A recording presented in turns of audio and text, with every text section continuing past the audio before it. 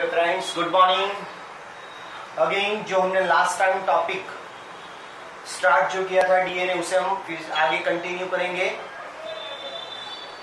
That DNA as an acidic substance why DNA is acidic substance because in DNA having various nucleotide and in nucleotide has phosphoric acid due to phosphoric acid group DNA is acidic in substance so DNA as an acidic substance present in nucleus was first identified by Patrick Misser the first time Patrick Misser was isolated or find out DNA in nucleus in 1869.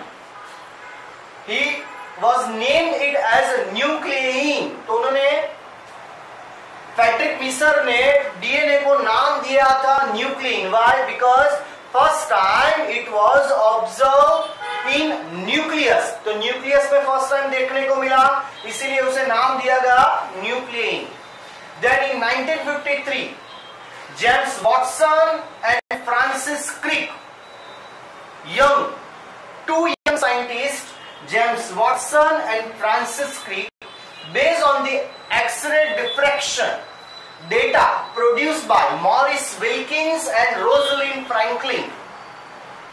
These two scientists propose a very simple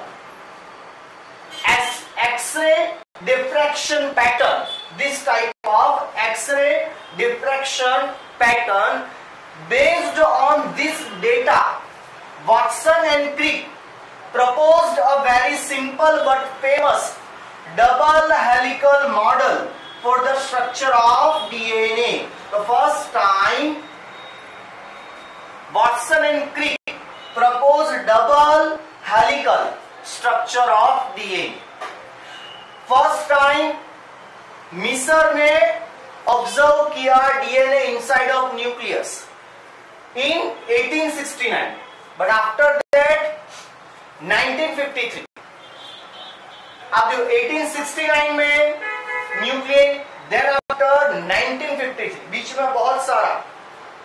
time duration तक DNA का structure के बारे में किसी को कुछ पता नहीं चला। Due due to technical limitation because हमारे पास जो मोलिकुलर टेक्निक्स अवेलेबल नहीं थी, इसीलिए।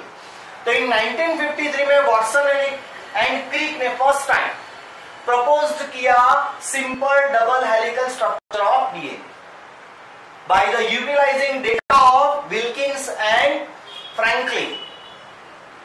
Then hallmark of their proposition Watson or Crick hallmark of their proposition was base pairing between the two strand of polynucleotide chain. Base pairing means base pairing in DNA. A pair with T and G pair with C. Based on the data ने क्या बोला था?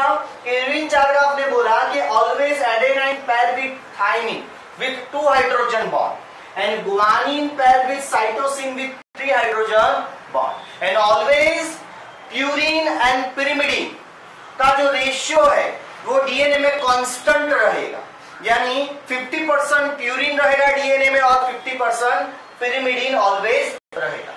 तो Irwin चारगा का जो law था, उसे utilise करके भी वॉटसन और क्रीक ने वॉटसन एंड क्रीक ने double helical structure of DNA propose किया।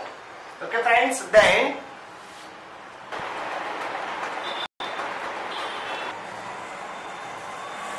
okay friends then after जैसे डीएनए का ये बेसिक स्ट्रक्चर है, जो वॉटसन और क्रीक ने दिया था, यहाँ पे हम देखेंगे if we know the sequencing nucleotide sequencing of template strand then we can easily hypothesize the sequencing, nucleotide sequencing of daughter strand जैसे हमें एक स्ट्रैंड जो है उससे हम बोलेंगे टेम्पलेट स्ट्रैंड और पैरेंटल स्ट्रैंड अगर हमें पैरेंटल स्ट्रैंड के ऊपर जो न्यूक्लियोटाइड सीक्वेंसिंग है, जैसे कि एडेनाइन है, दूसरा गुआनिन है देन उसके बेस पे वी कैन इजीली सिंथेसाइज और hypothesize the daughter strand nucleotide sequence जैसे टेम्पलेट स्ट्रैंड पे अगर और पेरेंटल स्ट्रैंड पे एडेनाइन है तो सामने ऑलवेज क्या रहेगा? थाइमीन नाइट्रोजन बेसिस अगर ग्वानिन है तो सामने क्या रहेगा? ऑलवेज साइटोसिन यानी अगर हमें एक स्ट्रैंड के ऊपर जो न्यूक्लियोटाइड सीक्वेंस जो लोकेटेड है, वो पता है टेम्पलेट स्ट्रैंड के बारे में then we can easily hypothesize the daughter strand nucleotide sequencing.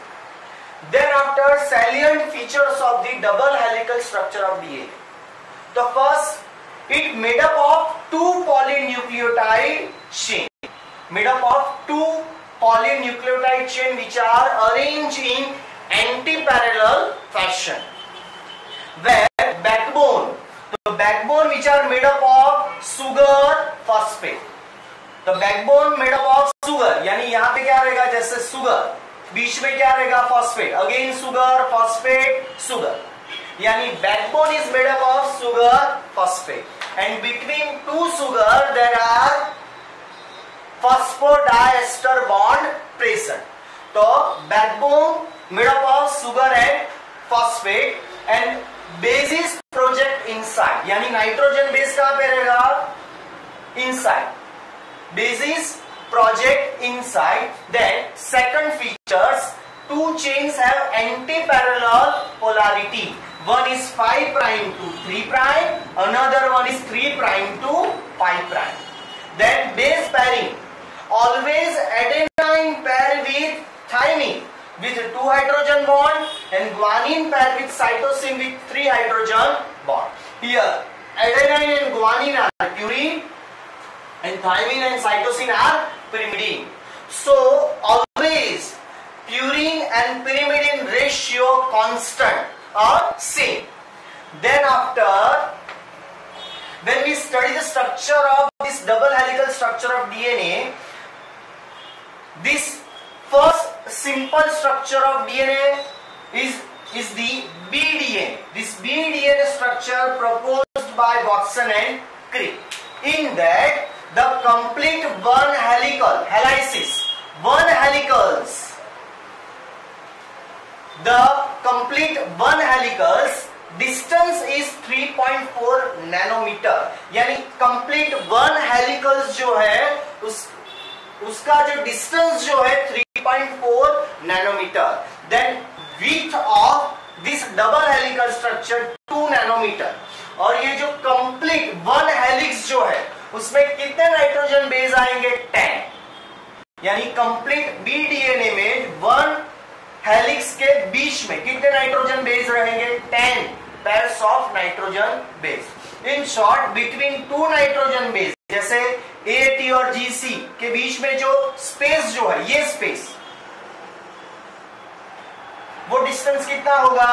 0.34 nanometre इसी तरह हम देखें, बाद में जो फाइंड आउट हुए एडीएन एडीएनए में कितने नाइट्रोजन बेस है? वन हेलिक्स में eleven base pair C DNA में वन हेलिक्स में nine base pair D DNA में वन हेलिक्स में एट बेस पेयर तो इसी तरह more than twelve DNA structure till date identify but first structure propose by Watson and Crick was B DNA तो B DNA में जो distance जो रहेगा वन हेलिक्स का distance 3.4 nanometer, width of BDNA 2 nanometer and between two consecutive nucleotide base pair के बीच में जो डिस्टेंस रहेगा वो 0.34 नैनोमीटर ओके फ्रेंड्स तो ये हमने देखा salient features of double helical structure of DNA then after हम नेक्स्ट टाइम देखने वाले सेंट्रल डॉगमा है then after various experiment okay friends happy learning and all the best